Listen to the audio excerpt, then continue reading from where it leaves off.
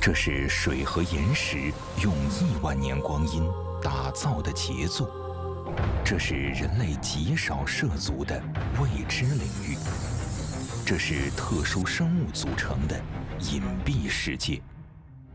历尽千辛，探寻洞道尽头，解密自然奇观，奇幻洞穴，地理中国即将播出。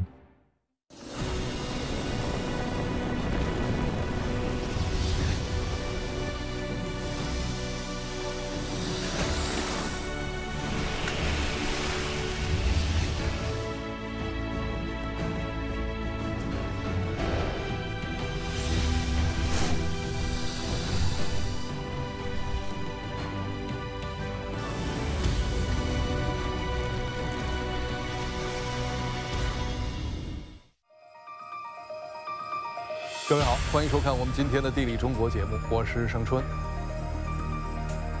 在大自然当中啊，我们常常能够看到一些以动物名字命名的地方，比如银湖洞、蝴蝶泉、野象谷、鸡冠山等等。人们看到这些名称的时候呢，往往会产生一些联想：蝴蝶泉边彩蝶飞舞，野象谷里象群迁移。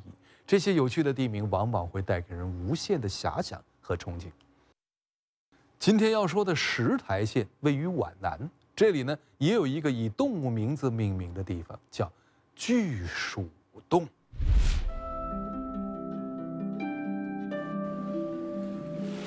形状各异的洞中岩石，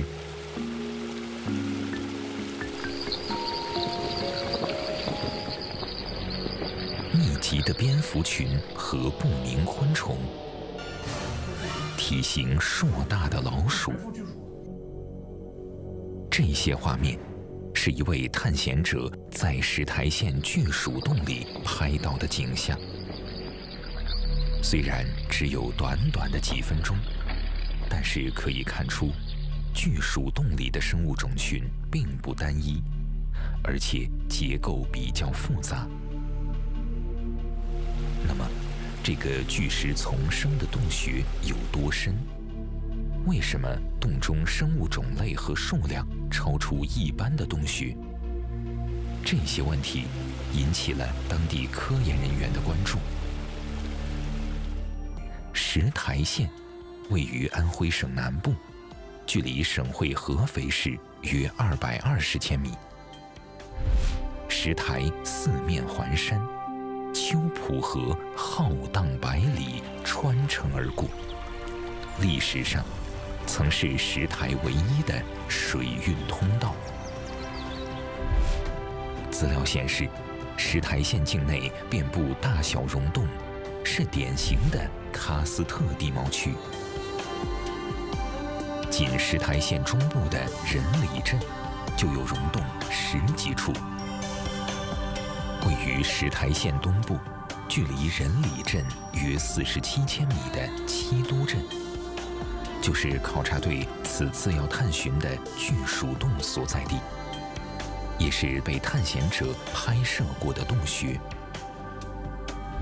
考察队到达巨鼠洞的洞口，发现水流从洞口源源不断流出，汇入了附近一条更宽阔的河流中。这个洞口叫做巨鼠洞。向导介绍说，七都镇水资源非常丰富，有多条河流从小镇穿过。丰沛的地表水会对巨鼠洞洞穴环境产生什么样的影响呢？踏着水流，考察队从扁圆形、只有一人高的洞口进入巨鼠洞。开始了这段充满未知的探秘之旅。我们要进入了。进洞后，是一条水深已经没过膝盖的水道。现在我们缓缓进入巨鼠洞。队员们弓着腰，行进了大约二百米，到达一个宽敞的洞厅。就非常危险了。闻到那个蝙蝠的那个粪便。哇，看一下这个水。洞厅的水已齐腰深。灯光下，潭水反射着幽蓝的暗光，增添了些许神秘气氛。队员们游到水潭另一端，顺着旁边的支洞口，又进入了另一条水道。这里三分之二空间都被水淹没，有些地段的水面高度几乎要达到洞顶。后面的人可以仰面朝天过啊。流出的空间，目测只有五十厘米左右，给考察队员行进造成很大困难。我卡住了是吧？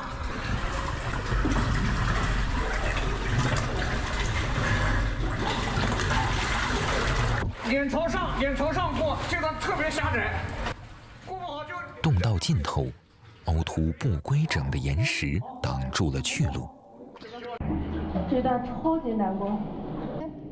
由于通道本身狭窄，水面几乎没顶，只有通过这个关口，才能进入洞穴内部。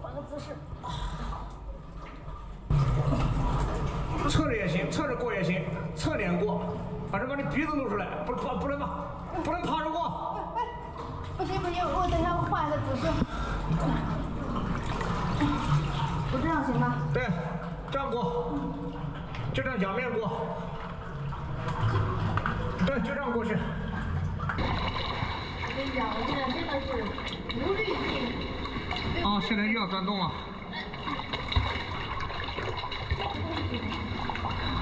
等一下，我要反着游行吗？反着游是吧？可以啊。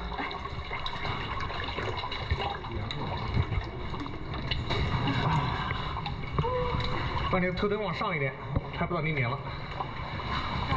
啊啊，往上，对，通过。对，我们现在通过只有这种方式通过，因为这个洞穴太小了。仰面朝天的话，这样鼻子不会吸上水。哇！与这段逼仄通道相连的，是另一个相对开阔的水潭。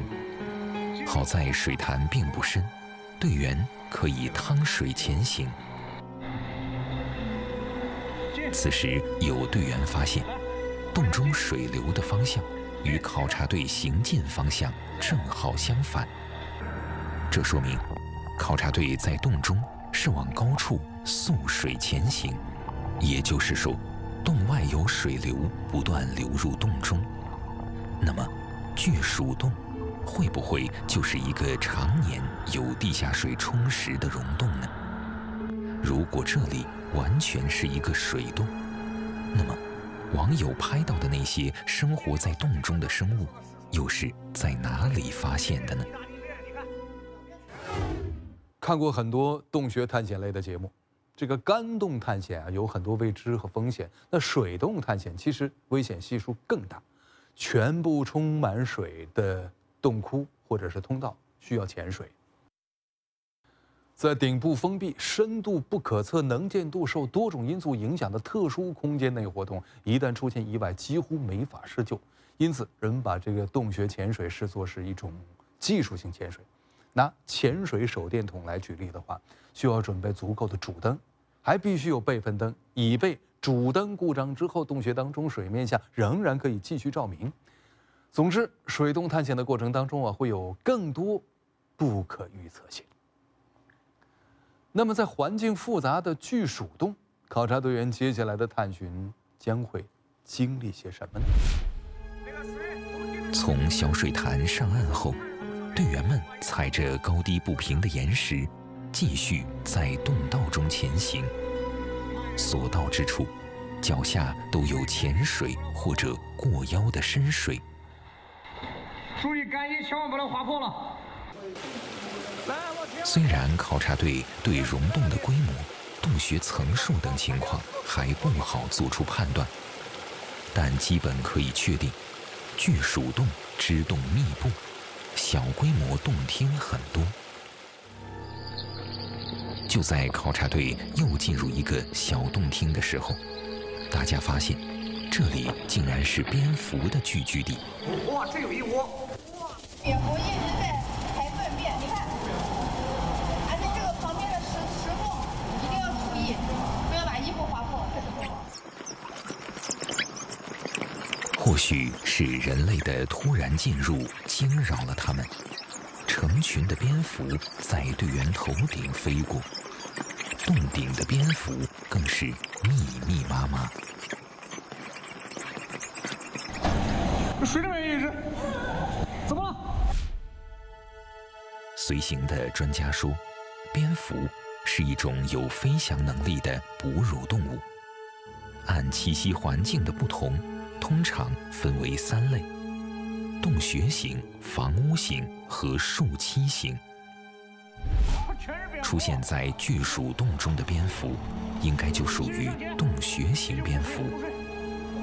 它们倾向于聚居在温度稳定、湿度较大、洞深为四十米以上的洞穴里，并在其中繁殖和冬眠。专家特别强调说，一般情况下，洞穴内生物类群的丰富度与蝙蝠的丰富度成正相关关系。也就是说，如果洞穴中蝙蝠种群数量比较多，大致能够推断，这个洞穴中其他生物类别也会比较多。三赤水通过，老耗子，赶快通过，看我的头顶上。这全部都是蝙蝠的幼崽，哇，这么多蝙蝠，原来他们在哺乳。这里是蝙蝠的幼儿园。耗子，我们赶快通过，通过这个大舌头路段。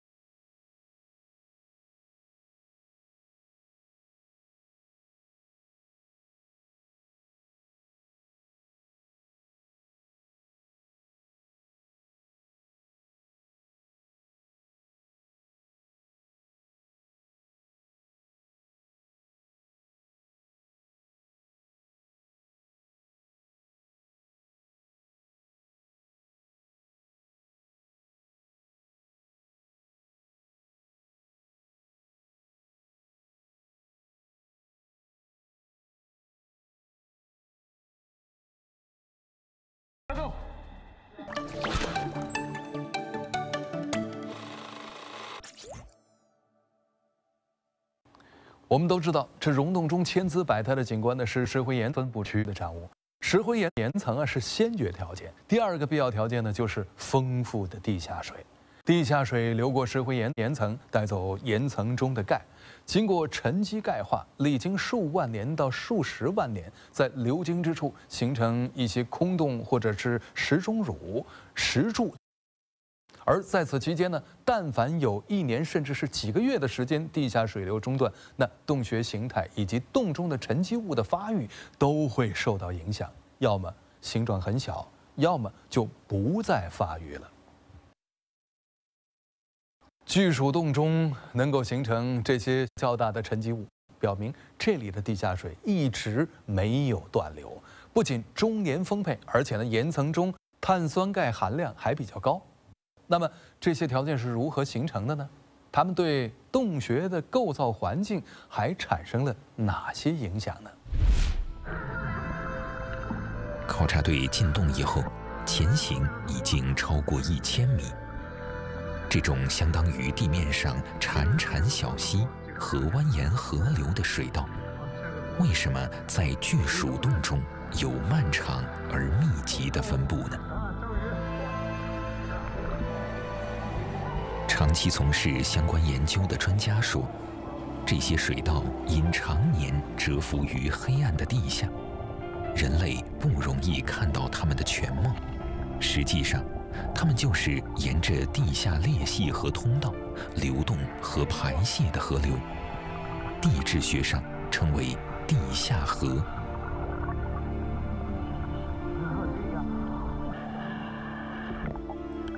所以这里的地下河如此漫长和密集，因为巨鼠洞所在区域是石台县断裂构造发育十分强烈的地区。但是在最开始，地下水是沿着细小的裂隙流动的。随着水流不断溶蚀冲刷，裂隙逐渐扩大。随着时间的推移，地下水量。不断增加，流速加快，溶蚀侵蚀作用日益加强，地下河的河道也不断变宽加深。队员们现在踏入的这些河道，或许在若干年后，他们会发育演变成可以行船的宽阔地下河河面。另外，从河底沙砾的磨圆度。也能够推测河水的急速和激烈程度。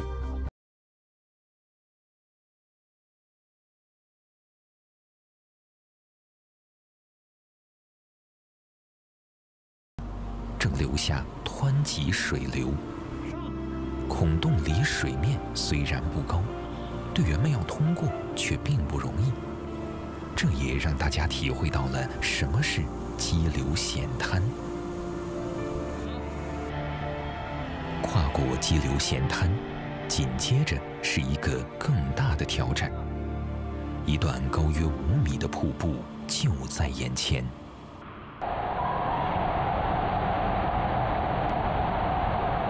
上面可能需要辅助辅助一下，辅助一下。好，上去了。好，下一个上几头身。女队员独立攀上瀑布顶之后。其他队员陆续沿着瀑布两边的岩壁向上攀爬。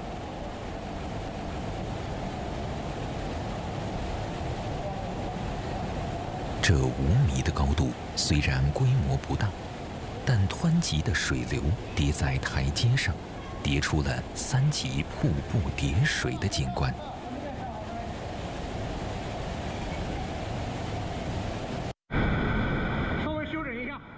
全员到达瀑布顶之后，队长王林让大家稍作休整，补充能量。这时，一位队员发现，自己携带的拍摄仪器因为进水已经罢工了。没有没有。经过短暂休息，考察队继续着岩洞里的考察。几乎每一条河道、每一个深潭里的水都非常蓝，常常令队员发出由衷的感叹。长期从事相关研究的专家说，巨鼠洞所在位置正好处在长江中下游铜矿成矿带上，渗进土壤中的铜离子被地下水带到洞中。地下河道和深潭中的水，便呈现出这样蔚蓝的景观。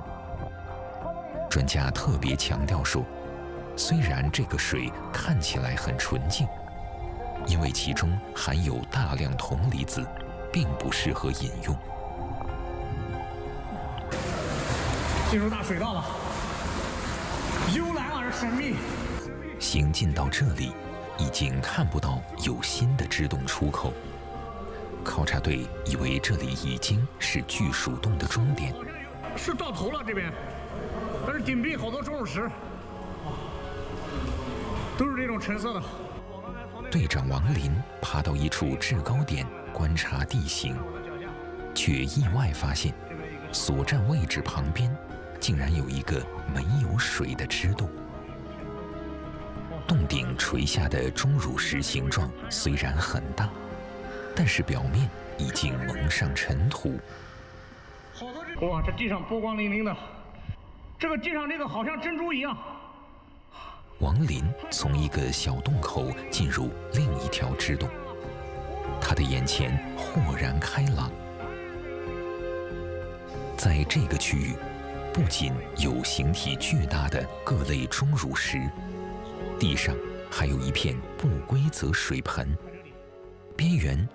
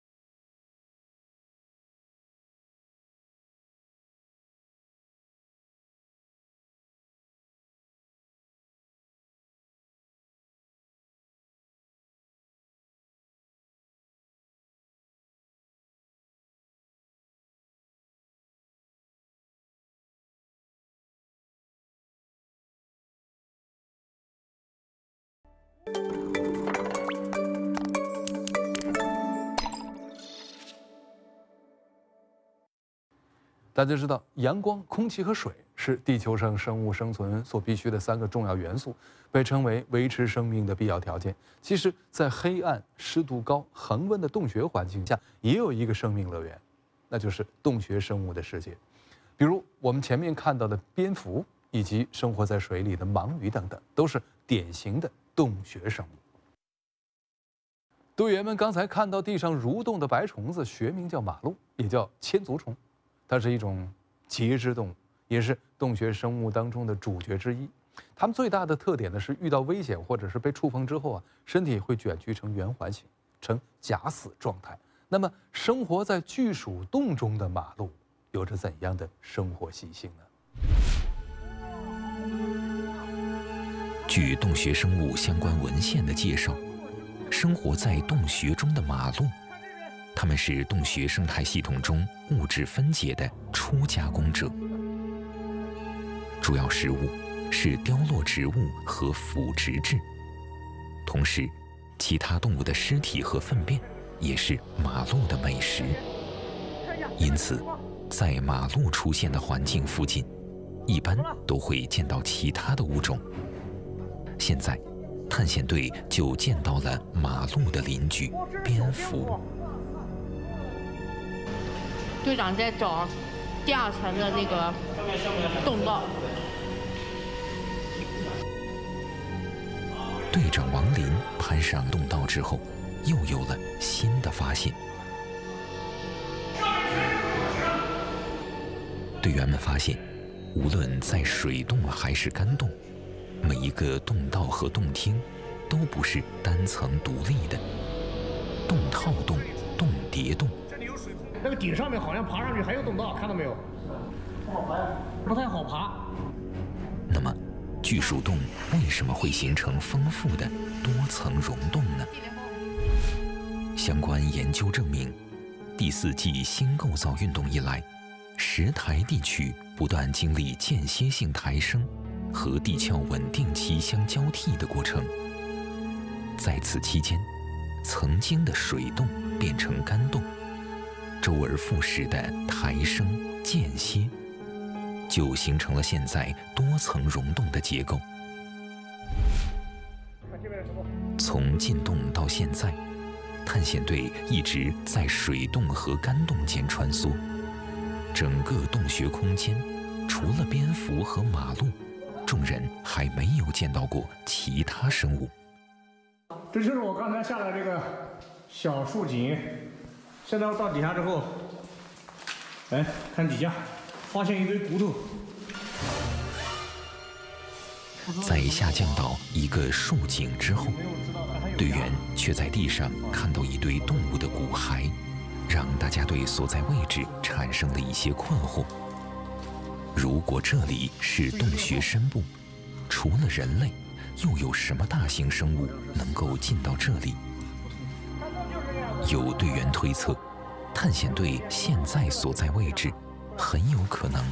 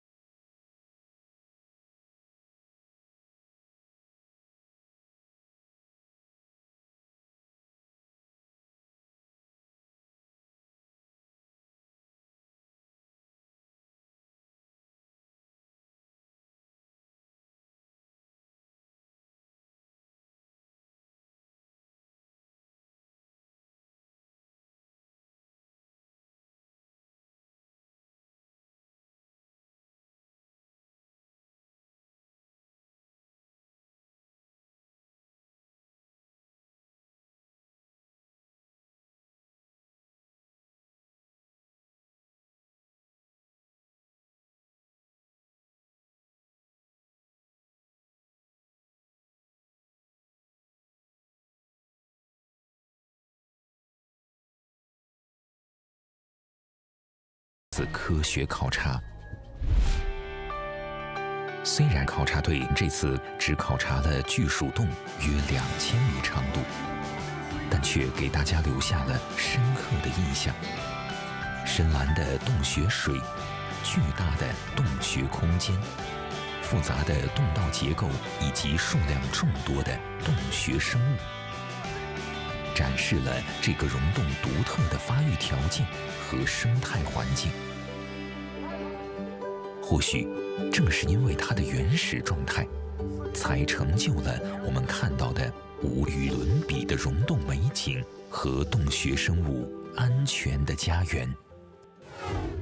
探险队将这次考察资料汇总给当地科研部门之后呢，初步得出一个大致的结论：位于江南过渡带和江南隆起带之间的巨鼠洞，因构造断裂的发育，演化成一个规模大、洞层多。沉积类型齐全的石灰岩溶洞，又因为温度、湿度等条件的适宜，成为一些洞穴生物栖息的家园。